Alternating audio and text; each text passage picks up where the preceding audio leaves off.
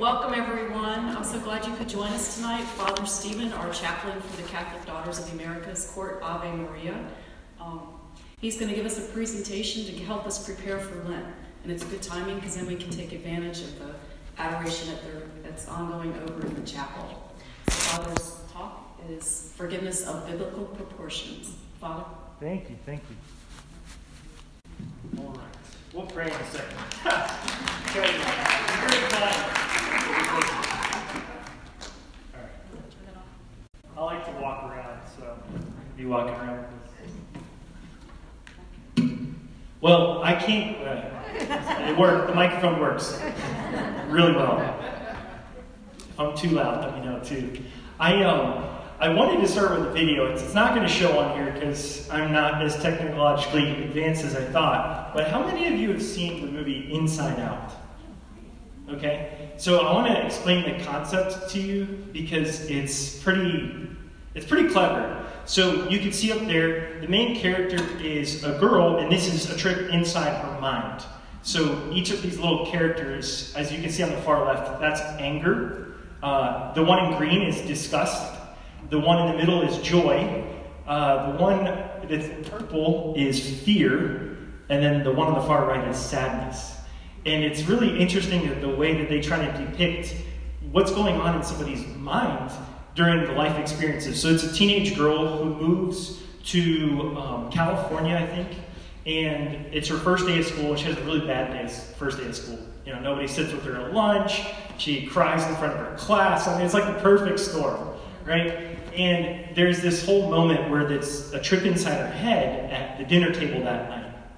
And if you've seen the movie, it's pretty funny. You can watch it yourself. But there's this awkward silence where you can tell something's wrong. You know, like when you've seen in your kids when you know they had a bad day, but and and what they try to depict, it makes fun of them, but there's some truth to it, is that the, the wife is staring across at the husband, giving him the eye to like say something, you know, like the nod, like, are you there? And uh, so there's this blank stare, and the people in his head said, Sir, she's looking at us.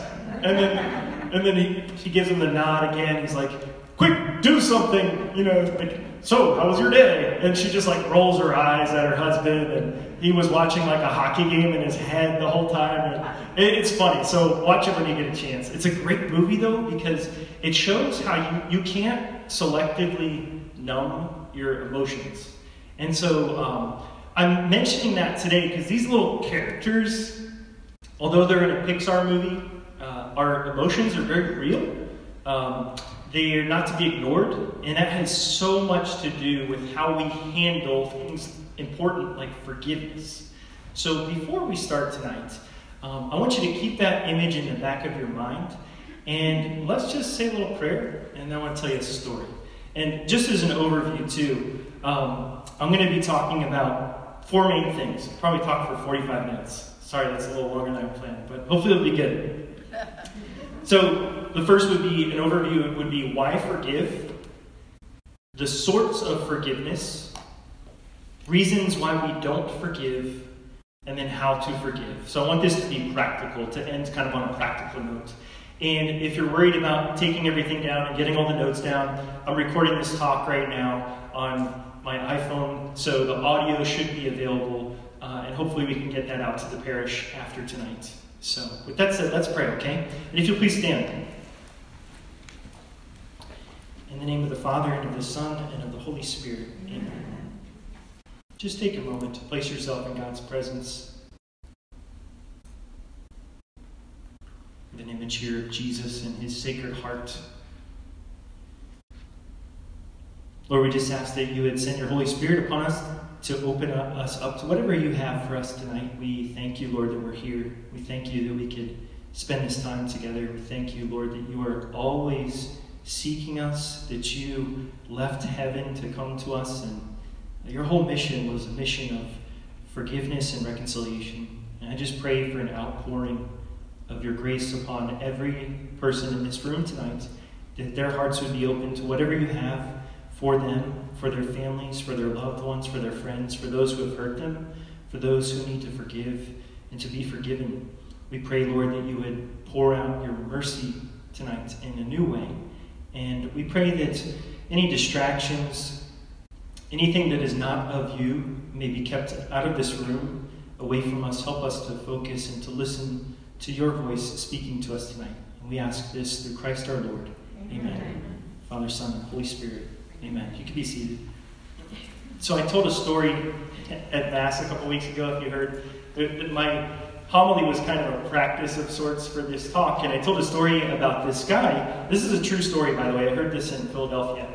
And this guy uh, took an, an outing one day. story about a man, a backpack, and his boat. So, man went out on his boat. He had his backpack with him. In his backpack, he had all his valuable belongings cell phone, keys, wallet, lottery tickets, you know. And, and he was having a great day fishing, and then things started to go south because he did not notice that down the river from him there were some rapids.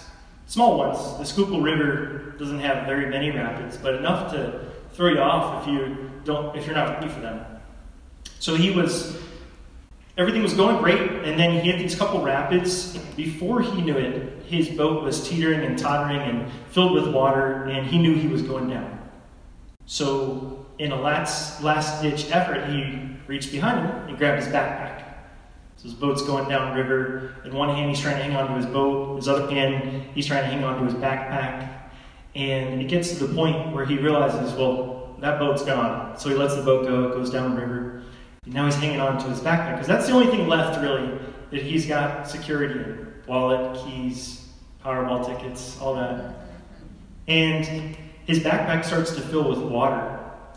And if you ever carried something underwater, it, weighs you down pretty easily. So now he's trying to get to the shore, but the current has carried him in, into the middle, and his backpack is weighing him down. And he realizes that if he lets go, he might live. If he doesn't let go, he might not live.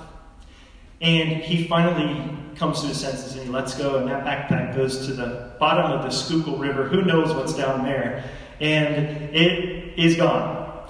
And he survives, and he finds himself, you know, without wallet, keys, phone, all of that. I'll circle back around to that story, but you know, the the image is strong because we all have a backpack. And you know what your backpack's full of. I know what my backpack's full of things that we hang on to. And it's a great image when we talk about forgiveness because there are things that we hang on to in life and, and we try our best to kind of float through life without drowning uh, from whatever's pulling us down, but that backpack really does weigh us down at times. I want to keep that image in your head. So it kind of brings me to my first point. We are talking about forgiveness of biblical proportions. That's the name of this talk tonight. And my first point is just why forgive?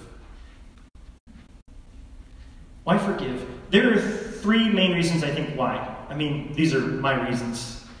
The first is a theological reason, so I'm going to start with the nerdy stuff. Okay, so uh, it's called original sin, concupiscence. We are born into a fallen world. We wound each other. We hurt each other. We have this tendency to sin that we all carry with us. And the world is not good at coaching us against that right? The world says, hate your enemies, get back at those who hurt you, curse back at those who curse at us in the car, on the highway, always get the last word in, judge others, hold on to grudges, all those things. A couple weeks ago, I was at a Carolina Hurricanes game with Father Scott, and I was just people watching because that's a good place to people watch. And there was a couple in front of us, and then a couple over to the left. And as this new couple came in, there, this whole argument broke out over whose seats were whose. And it was just kind of dramatic. And, you know, of course, the guy's trying to be all territorial, like, those are my seats. You know, it's like, well, check your tickets. And then this whole thing unfolded in front of us, and it was, it was just childish at the end of the day. I mean, they were sending people back and across the row just to make sure they bumped into them on the way out to get their next drink. And, you know, it just so clearly represented how we, we just like to get revenge at people sometimes. And it could be in silly ways, but it's true. We have that as part of our fallen nature.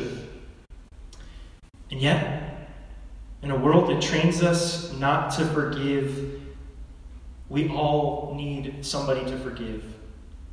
Jesus comes along teaching, like we heard two weeks ago in the gospel love your enemies, do good to those who hate you, bless those who curse you, pray for those who persecute you, who mistreat you. Stop judging, stop condemning, forgive, and you will be forgiven.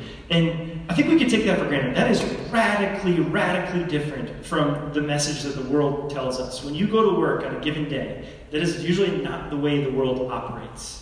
It's really radical. So there's the theological reason. Here's the practical reason. Unforgiveness is not good for us. It's not good for us. I mean, it, affects our whole person. It's not good for us emotionally, it's not good for us psychologically, mentally, physically. It like weighs you down. You can be tense. So we're going to do a, you thought you were going to get away with not having any group participation, but that's not going to happen. So I'm going to ask for some courageous and maybe some extroverts in the crowd to uh, help me here. And um, what I'm going to do, it, it's actually something that's used in marriage counseling. We're not doing that right now, trust me. I'm not qualified for that. Um, but it's called sculpting. And similar to the image of, from that uh, movie that I was pointing out, what it does is it helps us to think relationally as opposed to just thinking logically. So what I'm going to have are like eight volunteers come up, and then um, I'm going to ask any uh, men who are in the room. I need God, the I need the Trinity. I need Mary. So I'm going to need a Mary, and then I'm going to need eight people to represent different emotions, and we'll call them spirits that can kind of become obstacles for us. Okay. So um, can I have three men in the room come up uh, to represent Trinity, and that's not me trying to be sexist. It's just God the Father, God the Son, and then we have a room full of women, so you guys get to fill all the other roles. so, all right. Um, William, can you be God the Son? You're Jesus, okay? Wow. And you could be God the Father, okay? And then I need a Holy Spirit. Perfect. Thank you. So, um, what I want you guys to, this is a great place actually, is to stay here and uh, remember the, the love between the Father and the Son is so strong. It's a person, it's the Holy Spirit. So, uh, as uncomfortable, this might be a little uncomfortable, but it's important. But you try to represent like the love of the Holy Trinity, the Father relating to the Son, and the Holy Spirit being a part of that. So you guys can figure that out. Well, I'm going to go over here and grab some more volunteers. But think on it for a second. Okay, I need Mother Mary. And um, Karen, I was going to pick on you because I know you love the Blessed Virgin Mary. Yes, I know you do. Come on up. so, okay, so Mary always kind of takes the back seat, right? She's so humble. So I just want you to wait um, until your time comes. Mary would do that, okay? Um, I need a very brave soul who's willing to be the person that's experiencing these things. Anyone, any takers? The person who's experiencing this mix of emotions I'm about to name. Okay. Thank you. Come on up, Trisha. Thank you. Okay, Trisha, I am gonna um, let's put you right here, Trisha. Okay. Right in front of me. Okay. And we're about to get into a big mess because these things I'm to name you know, they're, they're very real for us. Maybe they don't all coexist in us, but they're serious things. And so um, I will just ask for seven, sorry, eight, eight more people to come up. I know that's a lot, but uh, can I have eight hands and whoever's willing? Yes, come on up, please. I'm going to give you a piece of paper that kind of represents uh, an emotion or a spiritual state, okay? Yours is confusion. Okay? these are, I'm not picking you to be assigned to these personally. These are just, you're going to represent how confusion would sort of manifest itself visually to, to Trisha right now. So you can, and if you need help, I'll help you with this, okay? Um, okay, yours is hopelessness, right? So how would hopelessness kind of, and remember, we're thinking in relation to the Holy Trinity and Trisha, how is hopelessness maybe blocking the way, or confusion, or rejection, or powerlessness? And if you need some suggestions, I wrote down a couple. Um, this one is fear, okay? Fear. And then I just need two more. Two more. Oh, sorry. Thanks, Rita. Uh, unforgiveness, right? That one is important for today. And then shame. Anybody? Sh- Nobody wants to be shame. I get that. Thank you. You guys are brave, okay? And then the last one is abandonment. Abandonment, right? That's a big one. But um, I, I'll play abandonment just to kind of play into this because that's one that's just kind of pretty tender. So um, I want to give you just a minute. And remember, Trisha here, we're trying, not Trisha herself, but the individual who's experiencing some of these things, what are they experiencing in their mind, in their spirit, in their heart that's keeping them from intimacy with God, the Holy Trinity? Okay? So if you had something that came to your mind, like for example, when I did this on a retreat, hopelessness was blocking her vision from the Trinity, right? That's kind of what I'm thinking. And then, you know, rejection had a very strong alliance with me, abandonment, to make sure that nothing gets in this inner circle of things that are blocking her from God, right? And I know it just got really serious. this is really important though, and I wanted to stick with you because this is what's happening in us. And it's so complex. Uh, so I'll give you a couple suggestions, but you guys want to take 30 seconds and kind of maybe arrange yourself around Trisha in a way that you might think you'd manifest her in relation, right? These are evil things, right? Deprivations of the good that are preventing her from being in communion with God. So take 30 seconds and try to maybe position yourself in a way that kind of represents what you're trying to depict. And if you need some suggestions, I've got some. Um, and while you're doing your thing, I'm going to read off just some that came up when we were doing this on retreat. Hopelessness was blocking that person's vision. Abandonment was, that's my part. I'm the constant reminder from the other side that you weren't accepted in some way, right? And I'm kind of always voicing that across. And I've got a very strong alliance with rejection to remind her to chime in when it's time, right? Uh, fear, for instance, might be time her hands are blocking her, right, from getting close to God. Shame might be pushing her away from God and telling her that she's not worthy. Right? So if you go ahead and move into place, if you it's okay to get a little closer. We sit next to each other all the time in the pews, so all right. Powerlessness sometimes was guarding their escape. Right? You can't get out of this. Um, rejection, like I said, an alliance with abandonment to keep them from getting close with anyone, and unforgiveness of all that was weighing them down. So, is it okay if they, so in some way, put a hand on you? Okay. Maybe her love language is physical touch. okay. All right. Take one minute and just try to get in position. And don't forget, the Holy Trinity is facing them, right? And so these guys, like William is ready to go, the Father is ready to send him in, right? And the Father has that authoritative but but watchfulness over Trisha, and the Holy Spirit is working with them both, right? Okay, so um, are you guys ready? I'm just going to kind of go through one by one, and you can tell me your own thoughts on your relationship with Trisha right now. So, are you ready? This is not easy, by the way. Uh, we did this on a retreat with a bunch of men, and it was pretty uncomfortable, but it's really important.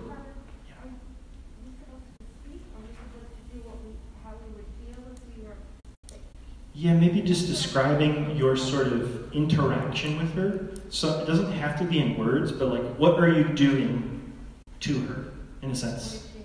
Yeah. You probably saw it, shaking her head and looking down. Notice she's facing in, not out to the Trinity. Okay? So kind of like closing her mouth, keeping her from speaking, almost keeping her words from coming out, stifling, paralyzing, kind of. And um, mine's, mine's hopelessness, and I, it would be like you said, just not letting her see it, just blocking. Everything's in shadow. It's feel emptiness. And uh, she's exactly right in between her and the Trinity. I've got powerlessness powerlessness, and I would say to guard her from, or block her from going, and keeping her out of control. Very good, very good. Confusion. Confusion is going to keep her from being able to hear things that will help her clarify, maybe help her from seeing things, maybe hearing too much, just a little bit, all over the place. Uh, just um, try to make her small and feel rejected um, and because it's already blocked, I would continue to block but make her small at the same time? um, unforgiveness, I would just go, and just give her some nasty looks. And as abandonment, you know, that's the feeling of just being left alone and somebody didn't come to help, right? Helplessness, really. So I have a very strong alliance with some of these things. And I can move around throughout somebody's life and just remind them at different times. You know? But what happens, this is the beautiful part. What happens when Jesus comes into this picture, right? Well, everything changes, right? When I pray, you know, say Trisha is praying with me and we're doing a kind of prayer that's using the holy name of Jesus to submit these things, these spirits, these emotions at times, to the authority of Jesus Christ. If I say in the name of Jesus, I renounce abandonment. Like any partnership I've had in my life with being abandoned, well, where do I go? To the one under whom every knee bends. I kneel here now before the Trinity. I have no power. Right? If I say in the name of Jesus, I renounce and I break any bonds, lies, or ties with, you know, hopelessness. Hopelessness comes to me and bows before the Trinity. You don't have to bow, but you can stand over here. All right? And then fear, same thing. In the name of Jesus, I renounce fear. It doesn't have power over me anymore. In the name of Jesus, I renounce confusion. Well, now I'm starting to hear God's voice all of a sudden. Things are becoming a little clearer. Um, in the name of Jesus, I renounce shame, right? In the name of Jesus, I renounce, what was yours? Rejection, right? Now, all of these are kneeling before the power of the Holy Trinity. And now this space is opened up. But one thing that can cling sometimes is that unforgiveness. So we want to send unforgiveness under the authority of God. In the name of Jesus, I renounce unforgiveness. Okay? See, it's not that God wasn't trying to reach out before, but it's that there was obstacles in the way of it. And what forgiveness does, especially, is it clears, just clears the obstacles. And then Mary comes, as she always does, so tenderly, behind the scenes. She knows everything that's happening, and she does what Mary does. What does Mary do? No, not the evil spirits.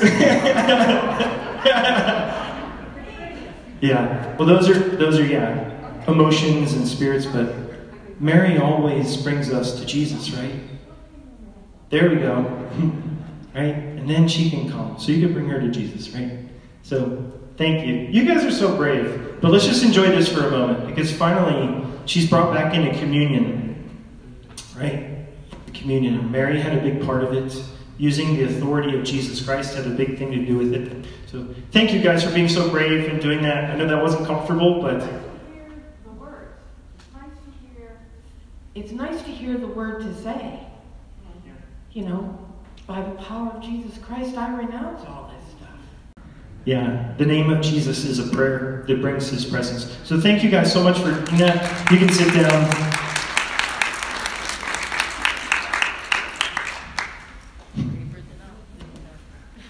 So, yeah, deep stuff. But now you have an image in your mind of what's going on spiritually, emotionally, psychologically, in, in somebody's mind, body, heart, spirit, of, of things that they might carry within their whole life. They don't even know how complex it is that's going on. So if that made you feel uncomfortable, it's very normal. If it made you feel vulnerable or exposed, it's, not a bad thing. It's just, it's just, actually, we were talking about this earlier in the office as I was brainstorming this. And, you know, we almost more easily relate to each other in this broken kind of state than pretending like we have it all together, right? Because that's all of us. Some, one of those things we've dealt with at some point in our life. But here's the thing about forgiveness this is St. Vincent de Paul. To pardon an injustice received is to heal the wound in our own heart.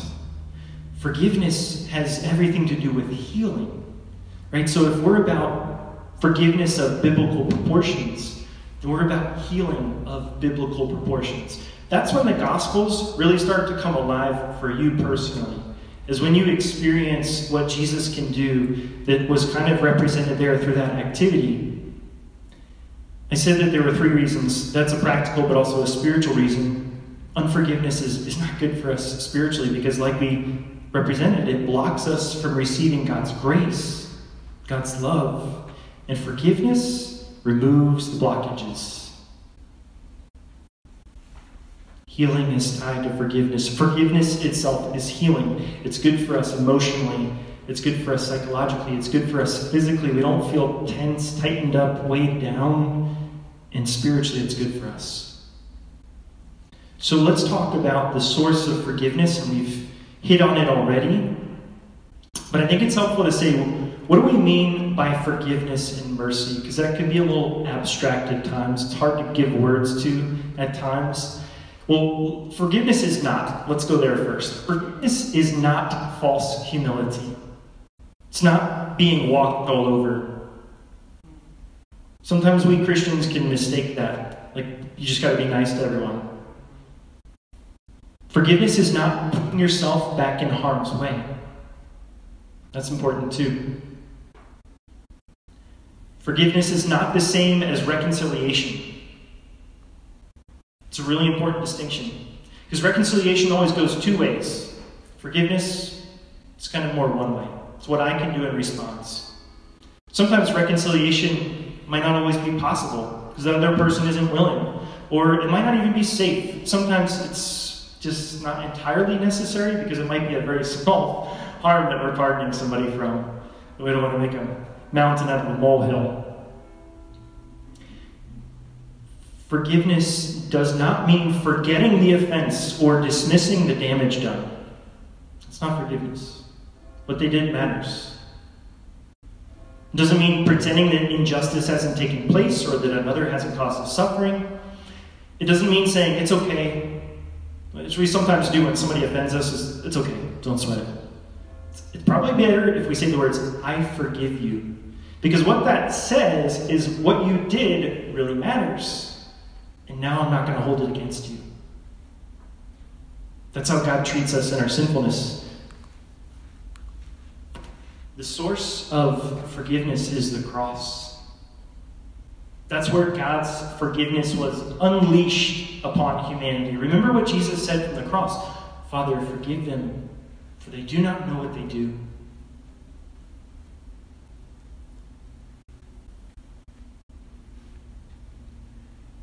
Forgiveness is undeserved love. That's what forgiveness and mercy have to do with undeserved love, a love that might not be deserved. And when that undeserved love is received, we call it mercy. When that undeserved love is given, we call it forgiveness. That's why the word give is in the middle of forgiveness. When undeserved love is given, we're kind of dismissing, not dismissing, we're forgiving a certain debt that has been incurred, right? Use a financial language. What's the Bible teach about forgiveness? I mean, the, the entire Bible is the story of God's forgiveness of humankind. Christianity, it's the message of God's forgiveness. Think of Joseph in the Old Testament, betrayed by his brothers, sold into slavery, put into Egypt, and he rises up to the top, and the day comes when his brothers are in need and they're starving and famine, and they show up on his doorstep asking for help. And eventually, he forgives them. And a great blessing comes into their life. Forgiveness is all over the Gospels. It's a huge portion of Jesus' teaching. Think of the Beatitude of Mercy. Blessed are the merciful, for they will be shown mercy. Some of Jesus' parables are pretty strong, and one of them is the parable of the unforgiving servant, who is forgiven an enormous sum, and then won't even forgive the person that owes him just a little bit. And he has a very severe punishment because of that. The gospel from two weeks ago that I mentioned earlier love your enemies, do good to those who hate you, forgive, and you will be forgiven. Be merciful, just as your Father is merciful. Every week at Mass, we pray the Our Father. Forgive us our trespasses as we forgive those who trespass against us. And I love St. Peter. He is such a good knucklehead. Lord, how often must I forgive? Seven times? Is that enough? Seven times? And Jesus says to him, No, not seven times, but 70 times seven, or 77 times. Now, if you know an extra detail, it brings a lot to the picture because in the Bible, seven is the number of completion, the number of fulfillment. So Jesus is saying, forgive until it's complete. Forgive until the forgiveness is full. That means forgiveness isn't just a one time event, it's a whole process. It takes time. There are layers, and that's okay. The Lord knows the timing of the heart better than anyone.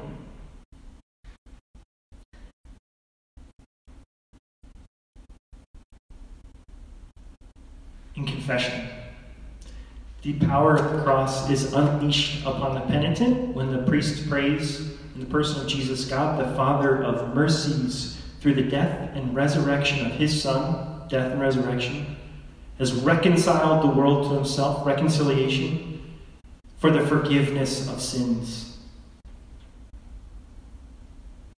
So now I just want to get into the final part, and that's where we start to get a little practical because that's talking about the reasons we don't forgive.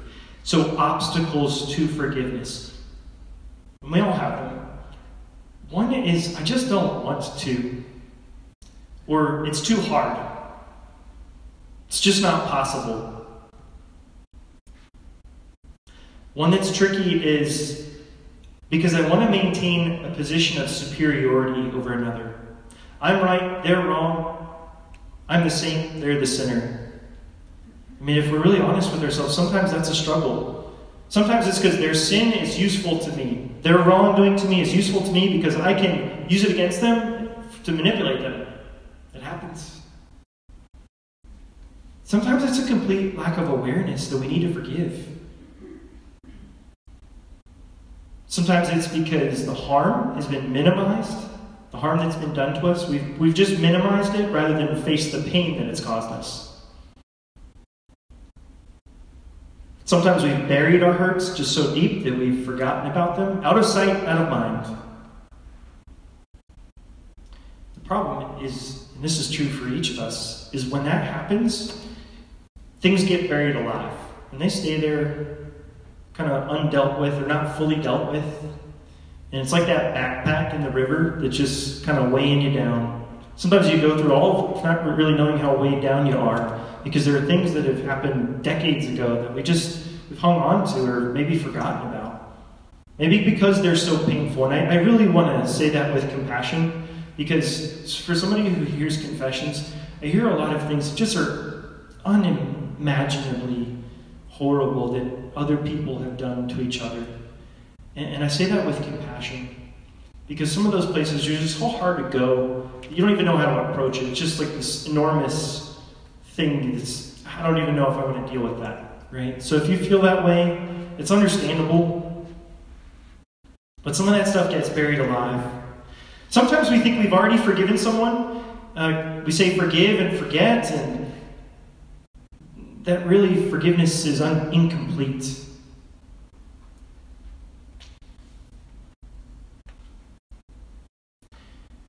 Sometimes, and again, I say this with compassion, that people have become people can become used to being the victim, and it becomes their identity.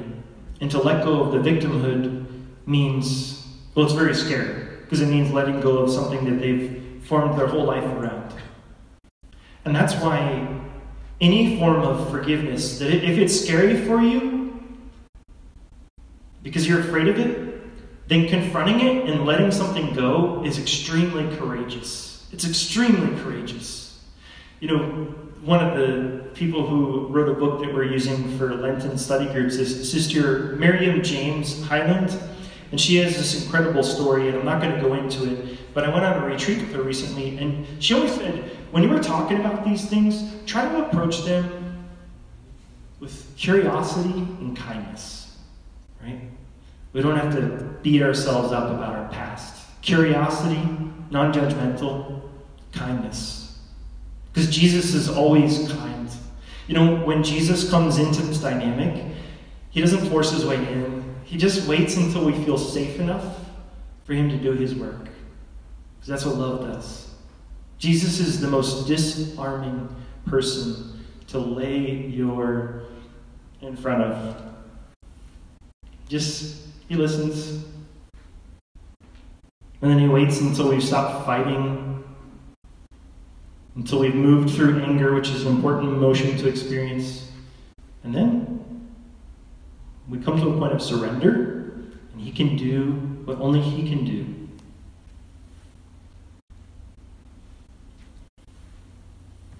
Okay, let, us get a little practical. I think uh, an important question to have answered by the end of the day today is how do you forgive? And there's no one answer, but I think it's important to acknowledge that when I say forgiveness of biblical proportions, I really mean it because what it means is we're asking for something that's completely beyond us. We don't have the power in ourselves to forgive some of the things that have been done to us. Forgiveness is a grace from God, it's something God-like. I think one of the most beautiful paragraphs in the entire catechism is this one. It is not in our power not to feel or to forget an offense, but the heart that offers itself to the Holy Spirit turns injury into compassion and purifies the memory and transforming, transforming the hurt into intercession. That is extremely powerful. What, do we, what happens to us if we open our heart to this? God can literally change an injury into a form of compassion for another person's brokenness that they've just unleashed upon us because of their own mess in their life. And that compassion literally will change our memory I was reading a book earlier and I put this quote on the back of a handout you're going to get. And this is the way that this author describes that kind of healing. The healing goes back into time and transforms the very moment when you were hurt into a moment of grace. The very wound that was the cause of so much suffering is transformed into a blessing. And all the bitterness it caused is changed into meaningful fruitful suffering. Our memory becomes healthy to the extent that we surrender our past to God and know that it is more His past than ours. That's what God can do when we enter into this process of forgiveness. And He can transform our even our painful memories. Think of Jesus' wounds. This is the best example I can think of. I asked my theology professor, why was it that Jesus, when he rose from the dead, rose with his wounds? He said, because they're the signs of his victory. You ever think about that? The wounds are the place they tried to hurt him, kill him, and he kept them. Because they're glorified wounds when he's risen from the dead. And when Jesus unleashes the power of the resurrection into your life and into your wounds, he glorifies wounds. And He makes what were once places of brokenness into places of healing. First for you, not just for you, for, for, for other broken hearts, for other broken souls. That's powerful. That's why meditating on the Sacred Heart of Jesus is a great place to make contact with God in your brokenness. Because when you give Him your heart, He does to your heart what happened to His own. It's been pierced, but He can redeem that pierced heart into a heart that becomes a, full of life, full of divine life, transformed. Some people say, well, I still feel angry. It's one of those emotions that was the red guy up in the Inside Out movie, and he heats up. And I just want to say this anger, if it's the feeling of displeasure resulting from injury, mistreatment, or opposition, caused by response to injury? The key question is always what did you do with your anger? See, anger is not always sinful. Sometimes we make anger into a sin when it's not. It always has to do with when it leads to revenge or when we act upon it that it becomes sinful. And often, unforgiveness is the main culprit behind anger. But forgiveness it's, forgiveness is, is, we'll put it this way forgiveness can still be compatible with continuing to feel hurt and or the feeling of resentment, which we usually can't control. Right? Those are emotions that we haven't given our will over to as soon as we experience them. But the big question is are you willing to forgive? Because forgiveness is an act of the will, it's not just a feeling. You might not feel like forgiving, but if you're willing to, because forgiveness is an act of the will, God can work with that. What happens to somebody when you show them forgiveness? This is from Dostoevsky. He says, There are souls which, in their limitation, blame the whole world, but subdue such a soul with mercy and show it love, and it will cure its past. He says, You will inflict the most awful punishment could be imagined upon them, and at the same time save their soul and regenerate them. You will overwhelm them with your mercy. They will tremble and say, How can I endure this mercy? How can I endure so much love? Am I worthy of it? That heart will bow before your mercy. It thirsts for it. It will melt before it. I was talking to somebody in the sacristy after Mass today, and they told me a story about forgiveness and how the person that did them the most harm in their life, they were able to get to a point where they just they just melted them with mercy. I was at the hospital on Saturday, ran into a guy, went up to visit with him and his wife. And on the way up, he said, Father, I, listened to the homily from two weeks ago, and it brought up some stuff for me. And he said, I hadn't talked to my brother in three years. And I called him last week. And I said, I'm sorry, and I forgive you. And I said, Thank you for being so courageous and for putting into action what is so hard. How do we do this? The long and short of it is that it's, it's God's going to do it through you. When we call on the name of Jesus, He forgives through us. We like to unleash His power to forgive through us. When we ask Jesus to do it for us, we do it in the strength of His name. I didn't mention how that story ends. Some of you know because you were at Mass a couple weeks ago when I told it. But that guy who was on the Schuylkill River, whatever nastiness he was floating through at that point, he got to a point where he had let go of his backpack, wallet, keys, lottery tickets, all that in the bottom of the Schuylkill River. He found himself at a bar later that day. I don't know how he got in without an ID, but he was having a drink at the bar. And things were going pretty bad for him. The guy next to him says, You look pretty depressed. What happened? And he told him the whole story. And this is a true story, by the way. He said, Well, I happen to be a certified scuba diver. I'm not kidding. Let's go get your backpack. So they go down to the Schuylkill, got his backpack back, got his wallet back, got his keys back, got his cell phone back, got his Powerball tickets back. They were a little soggy, maybe a little expired. My point is that forgiveness is restorative. It restores us. It heals us. It mends what is broken. Because that's what God can do when we just give Him a little space. You can continue the conversation with Jesus, because I probably pried into your heart tonight. I'm not going to apologize for that, but know that He wants to tend to that heart more than anything.